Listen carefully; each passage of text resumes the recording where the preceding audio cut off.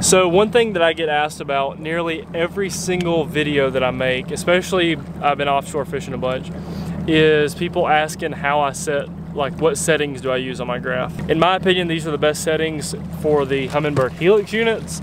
I'm not sponsored by them, I don't, you know, whatever. I just really enjoy the units.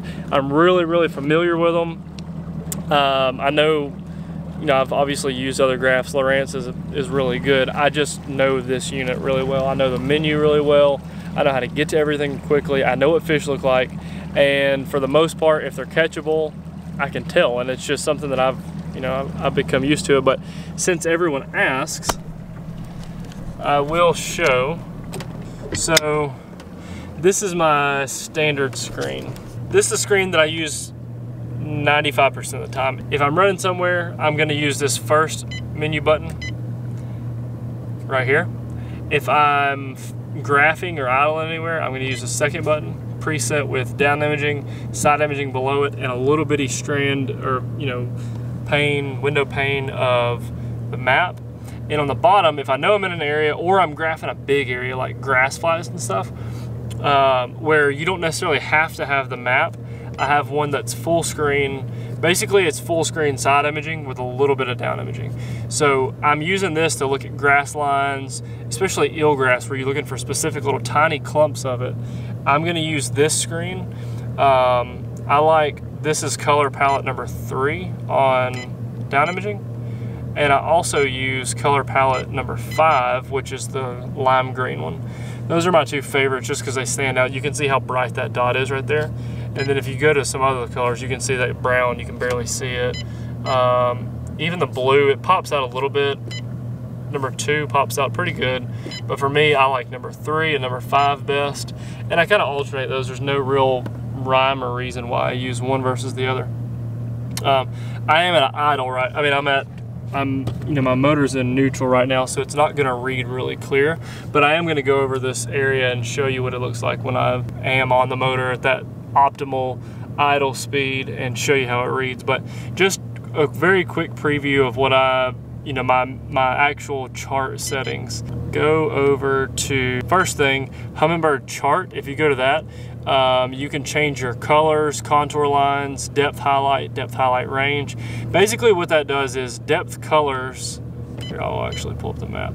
So depth colors is how I've got this dark blue where it's deep and light blue where it's shallow. And then anywhere that I want it to be green and highlight that specific depth zone, I will go to Humminbird chart. And if you change this depth highlight, so it's on 17 right now, take it to 13, the 13 foot area is highlighted. And then right below it, you see plus or minus one foot. And you can also alter that. So what that means is it's gonna highlight everything that's in 13 foot plus or minus one foot. So from 12 to 14 foot, 12, 13, and 14 feet will all be highlighted green. If you, you know, want that to be broadened, you know, maybe you're catching them in, say 15 to 20 feet. I'm gonna put it in the middle. I'm gonna put on 17 feet plus or minus three feet. So that's gonna read everything from 14 feet to 20 foot. Everything is gonna be highlighted in green. And this works really, really good once you get dialed in on specific depth zones uh, that fish are in, especially fishing grass is when this really plays. And oftentimes, I'll even have this set at zero. That way, the only strip that's highlighted is that exact depth. So that's how to use your color shading. I'm gonna put that back to where I had it. I like it at 16 foot plus or minus two. That's kind of my favorite for ledge fishing. Um, that plus or minus one or plus or minus two. Shallow water highlight, that's gonna show a red strip when you get closer to the bank uh, or any high spots that you want marked red. I keep that on four foot. I don't like really running anything that's less than four foot. Um, so just as a general, I keep that on red on four foot water level. Right now, Guntersville is at regular pool, so it's at zero. But if the lake was up or down, you can adjust that. So say if it was down four foot, five foot, it actually is gonna real time move those green lines or move whatever your colors are. It's real time gonna move those. So now my next thing to show is my down imaging and side imaging settings. So side Im down imaging first, um, Sensitivity, this is the Helix 12 Gen 3. Sensitivity, I've got pretty uh, turned up pretty good on 14. Down imaging contrast is on 11. Lower range is on auto. That way the bottom depth adjusts for whatever depth you're in. Chart speed 6. Down imaging color is on 3. And now you go side imaging. Side imaging contrast on 11. Sensitivity on 11 Side imaging range 65, I never change that pretty much ever. I love 65. I know that I can throw any bait 65 feet and that's what I want to that's what I want to know. That way I can cover that 65 very well. I just really like having a 65. Uh, both sides of the boat, chart speed six, side imaging color number one. I like blue on side imaging. I don't run blue on anything else, and I don't change the color of my side imaging. I'm not a fan of any of these other colors personally for side imaging. I just like blue. It shows up the best. Um, so that's kind of my that's my quick settings on what I use. Um, the other thing is the frequency. This these units are chirp units, so I've got chirp turned on, clear mode, down imaging frequency presets, increase detail or increase depth. I go to increase detail and turn the fish ID off. Make sure you get the right transducer and you're good to go. So that was a really quick view of my graphs and how I like to set them up. If you have any questions, just ask. Also, feel free to pause that video and screenshot them, especially if you got Humminbird Helix, specifically the Gen 3 units. The Gen 2s were a little bit different, the um, especially on the down imaging. You didn't have to have that sensitivity so high on down imaging. You could have, I mean, on the on the Gen 2 on down imaging, you could have it a little bit lower. But anyhow, quickly wanted to go over this spot and just show you what my what my side imaging and my down imaging look like. It's really hard to record this because of the light situation. Yeah, really hard to show this. I'm getting a terrible glare. So I'm just gonna keep going. Hopefully you can see. Um, but I just really enjoy I really like the detail that this unit shows, especially on side imaging out here. You can see a lot. You can tell what fish are. Over here, there's some fish. I'm hoping y'all can see this stuff. Obviously, there's a ton going on on down imaging. That's a lot of bait. There's a stump, looks like a fish on top of it. But out here to the left, you can see that there's fish everywhere out there. Looks like an old road coming in right here. Ton of fish over there.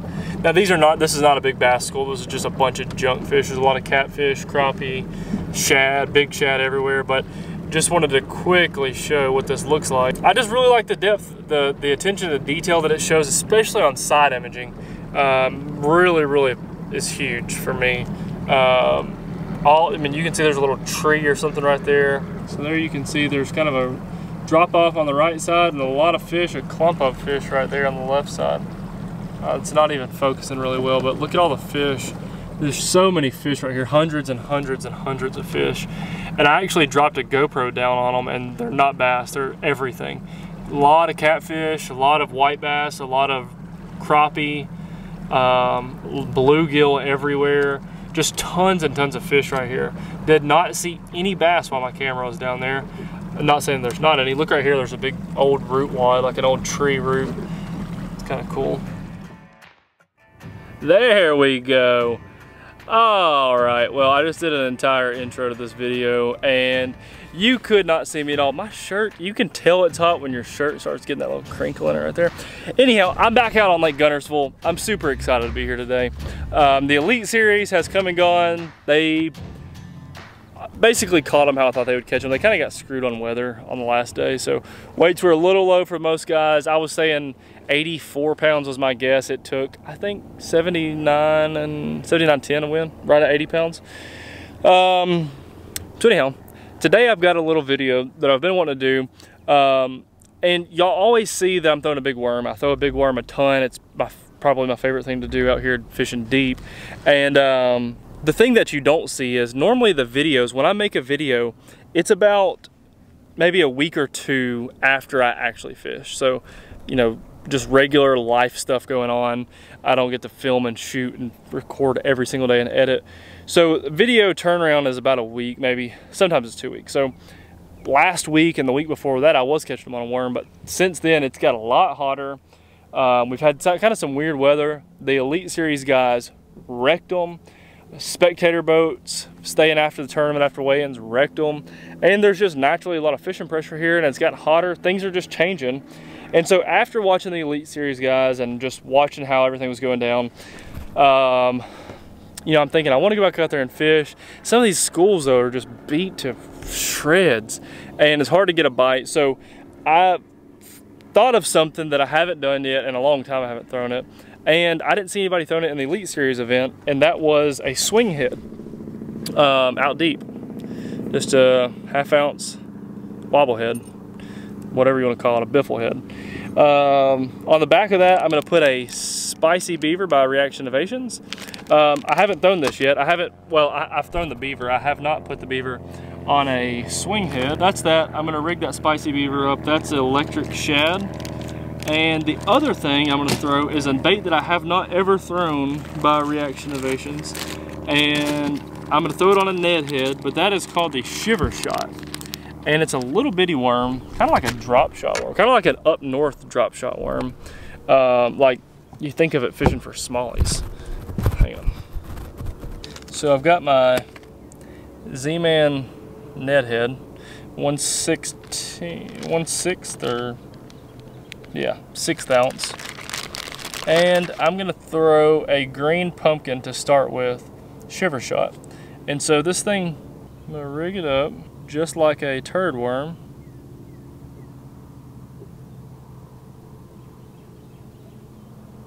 Just like so. The only difference is between this and the turd worm is you can see that tail right now. I'm not, I'm literally holding it still with my hand and that thing's still moving. Like it, the tail doesn't stop moving. So in the water, it's gonna do the same thing. Um, so today I'm literally, I've got all my big stuff out, but I'm gonna throw that Ned head and that spicy beaver on a swing head. I'm gonna throw it a lot. I'm, I'm, uh, that's kind of my thing. I'm just gonna go fish schools with those two baits, see if I can get bit. I'm, I would hope that I could. Um, here, I'm gonna show you how to rig this up too. This is the new spicy beaver. Super freaking good bait. But if you can see right there, oh, focus. Okay, if you can see right there, there's a little ledge on the side of this bait. That ledge is, it serves two purposes. When you uh, put your hook in and run it out under that ledge, like that, focus, okay, like that, then when you run it up, what that's going to do is two things. It's going to make the bait a little bit more weedless because it keeps the bend of the hook kind of tucked back in, but it also keeps the bait on the hook better because it's got that that ledge kind of holding it on. It holds the bait on a, it holds the bait on very very well. I'm going to just barely text pose this, so I'm going to leave the hook point on top and just barely barely I mean, just barely pushing the skin of the plastic.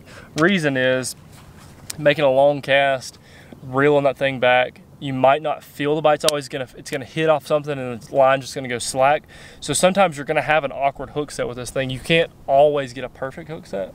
So I wanna have that thing where it doesn't have to tear through a lot of plastic. Um, so that Tex Pose is definitely way to go. Like always, I'm gonna tie a Palomar knot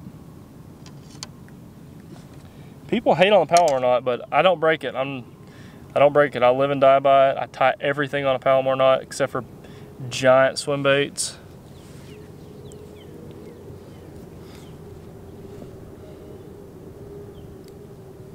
Matter of fact, on any video I've ever shot that y'all watched, all those football, I mean, all those big wormfish, all those cranking fish, I broke off, the only fish I broke off this year was at Chickamauga on that, when we caught a ton of them was the only time I broke off on the hook set.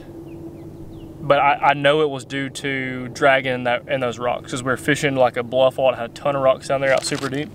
And I know my line got frayed and that's why it broke off. But literally I don't break off with a uh, with a Palomar knot. And as y'all could see from the uh, Chickamauga video, we were swinging pretty dang hard. Anyhow, I'm gonna get this drop shot tied on. I'm, I mean, not a drop shot, this Ned rig worm. I'm gonna get that tied on. I'm gonna go head over to the first spot, see if there's a school there. See you guys out on chesty in just a second. All right, so I've got my chart color set on 15 to 17 feet to show this green. There's some fish on the side on side imaging right there. That's a several fish. There's some fish right there on that stump. And then this stump is where that waypoint is. Still some fish down there.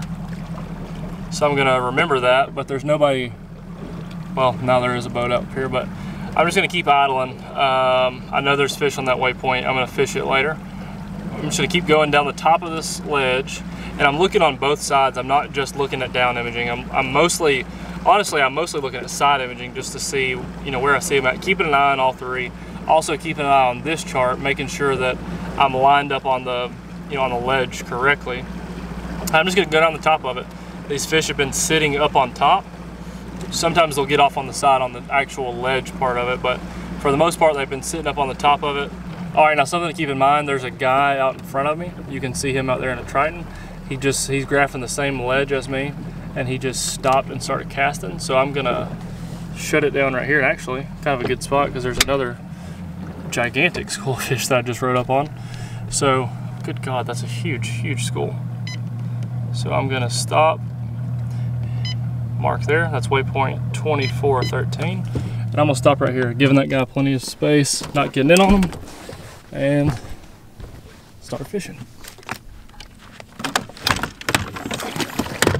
I pulled up my map and down imaging, mostly just worried about the map, often just looking down at down imaging to see if the fish move closer to the boat.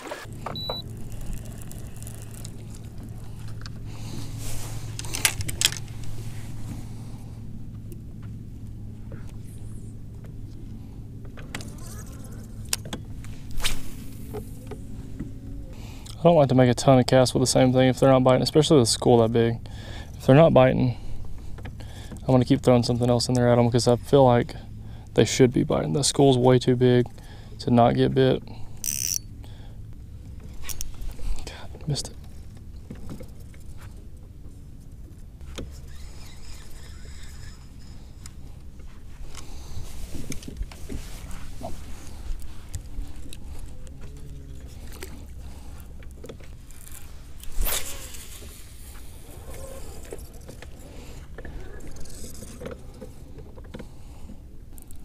So I made two casts with the wobble head, three casts with the wobble head, made four casts with the Ned head, and now I've picked up a jerky J. And I'm just gonna keep changing, keep changing, keep changing until you figure out exactly what they want.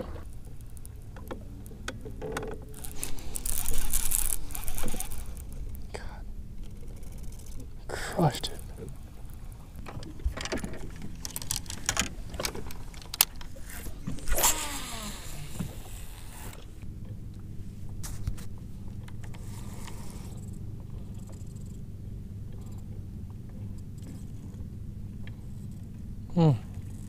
There's one. Big one.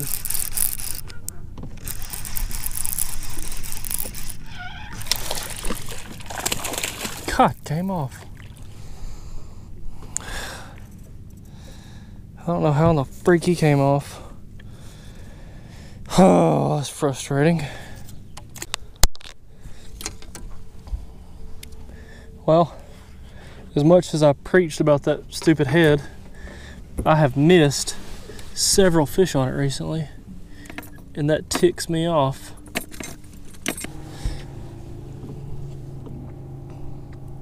I hate missing fish. I, I don't, I mean, I hate losing them, especially on a big head, a big, big shaky head. I don't feel like you should be losing fish. I'm gonna go back to this straight shank hook.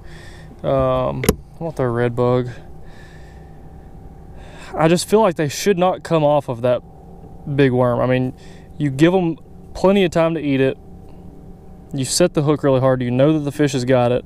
I just don't feel like you should lose a fish on that on a big worm. I, I just I might be picky, but I hate losing them.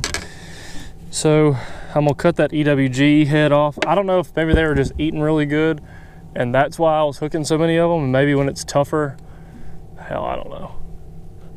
I know one thing. Um, that's the second one I've missed in a row on it. I mean, the second one I've lost in a row on it. So it's getting cut off. This is a half ounce head though. I like a three quarter ounce head a lot better, but I don't think I have any three quarters of this big head, unless they're they're definitely somewhere in my boat, but couldn't find them. Don't feel like looking. All right, back to the action.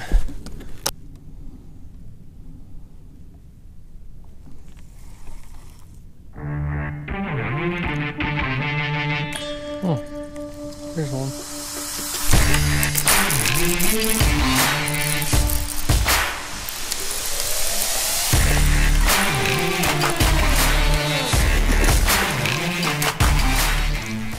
Good one.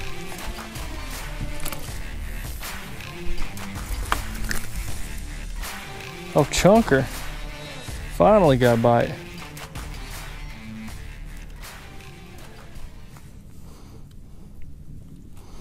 Oh, chunky chunk. That's a fat sucker too. It ain't big, like it don't weigh a ton, but he's got a freaking belly on him. Little old fat chunk. Turn him loose.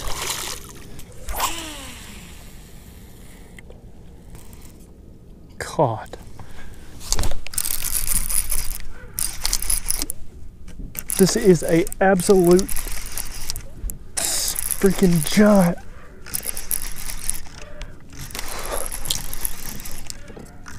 Oh. oh, it ain't either.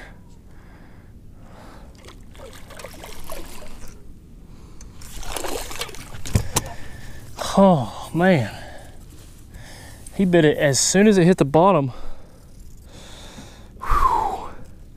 This gets my heart racing like crazy. It's a freaking fat chunk right there.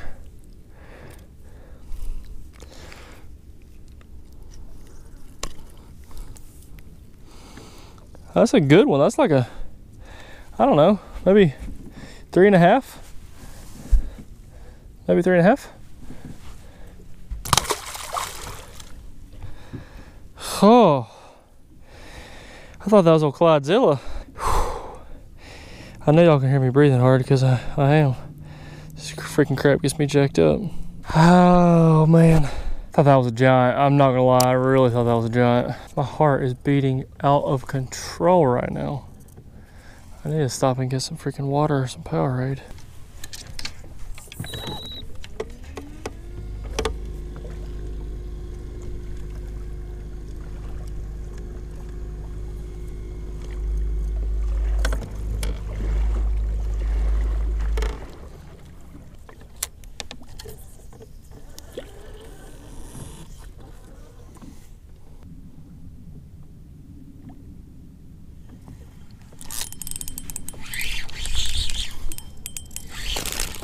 Tiny.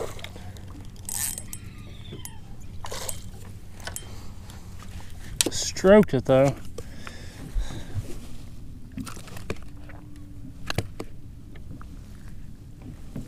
God, there's a lot of fish below us.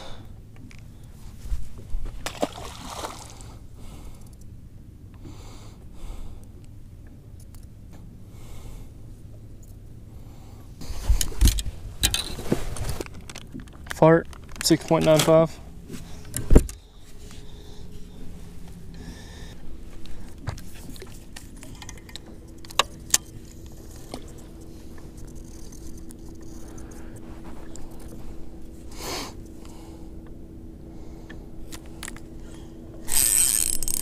That didn't take long.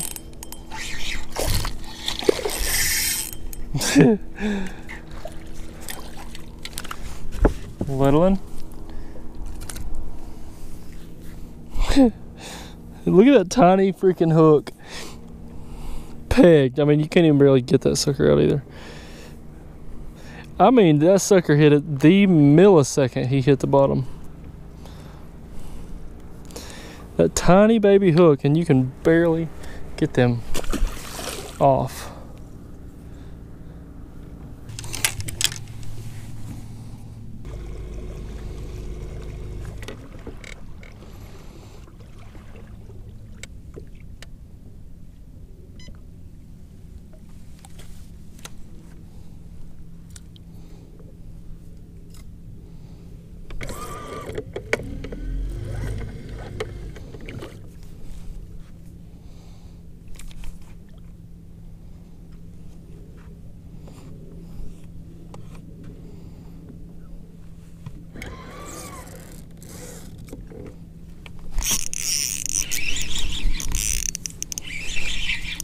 God, look at that one.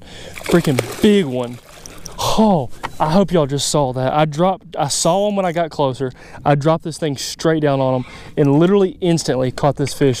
That's like a freaking five pounder. That might be a six pounder. No, it's not a six pounder.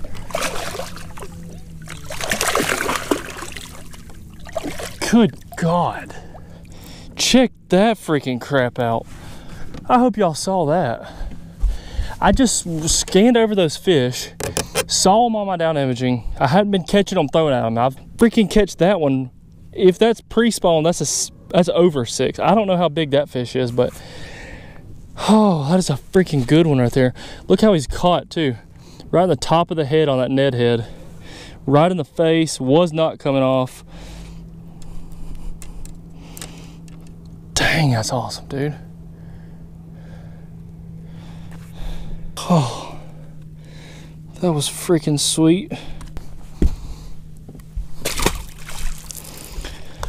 Well, well, well.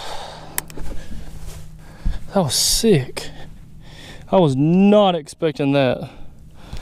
Hope that GoPro is running. Oh, that was freaking awesome. I've been throwing at them. I knew there was a ton of fish down there. And as soon as I got up to my waypoint, freaking soon as I dropped down, catch one.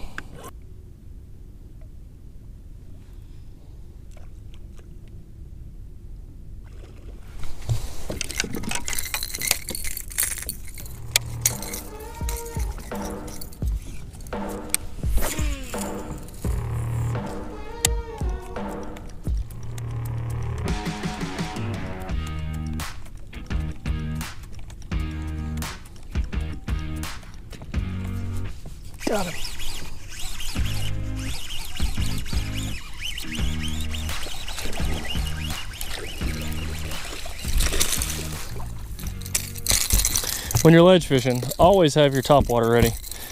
I wasn't even ready enough. This is a vixen. And I can't tell you how many times the bass chase a bait up to the top and you catch them schooling on a ledge and that was out in probably 30 foot of water. On top water, ledge fishing. On the vixen. And you see that sucker right there has been chewed up. So yeah, I'm gonna leave that, I'm gonna leave that top water hanging off the side, ready to go. Like always, thank you guys for supporting my channel. Please go subscribe. I would really appreciate it. I've been cranking out a ton of videos recently. I would love your help and love your support by simply clicking the subscribe button down below.